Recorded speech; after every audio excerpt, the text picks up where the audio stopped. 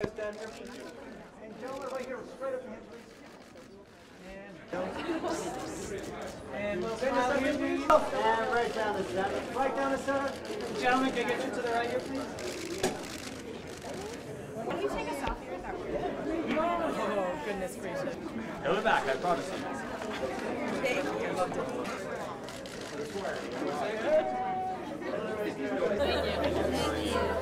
Guys, you want these signed or not? Yes, definitely.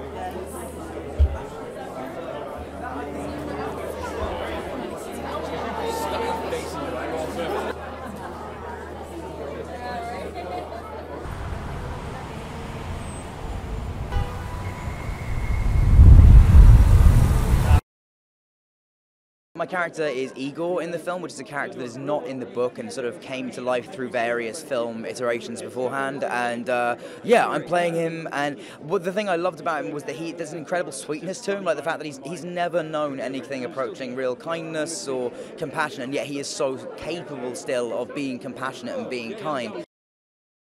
It's more of a human story. It's about Igor, from my point of view, it's about Igor trying to fight his way to personhood um, while also trying to control an insane person, which is Victor Frankenstein, and played wonderfully by James. It was 1850s London was the, you know, I don't know, it was like being in like the Silicon Valley in the 90s. Like it was the forefront of everything technologically in the world. And we try and capture a kind of some of that energy and that youth and that sense of the past kind of being ripped up and us not really knowing what this new world is that we're going into. The sets are ridiculous. Eve Stewart, our production designer, uh, who did Les Mis and a bunch of other stuff, and I, I'm sure is award winning. I don't have those exact things, but I'm sure she is. Um, she did just an amazing job on it. I didn't know James would be playing Frankenstein when, when we uh, when when we when I agreed to do it. But when he said yes, I was just like over the moon because I mean what he brings to that character as well, and, and our relationship together is is hopefully one of the good things. Is one of the really like fun things about the movie. They might expect a guy with a hunchback. They might expect uh, a mad scientist with crazy hair flicking switches and lightning, and him maybe saying something like "live" or "it's alive" or "breathe" or something like that. Uh, you will get all that because we, we wanted to hit those cliches and hit them hard. But what was really exciting was giving the audience those cliches that they know and love, and then surprising them with lots of other stuff. The idea of working with Dan in that part, I thought it was really surprising casting, but really smart casting, because he literally goes from like an animal to a real civilized man. Um, and through that, I get to do everything between being his best friend and abusing him physically and emotionally. So uh, it was, it gave us an opportunity to do a lot of good work.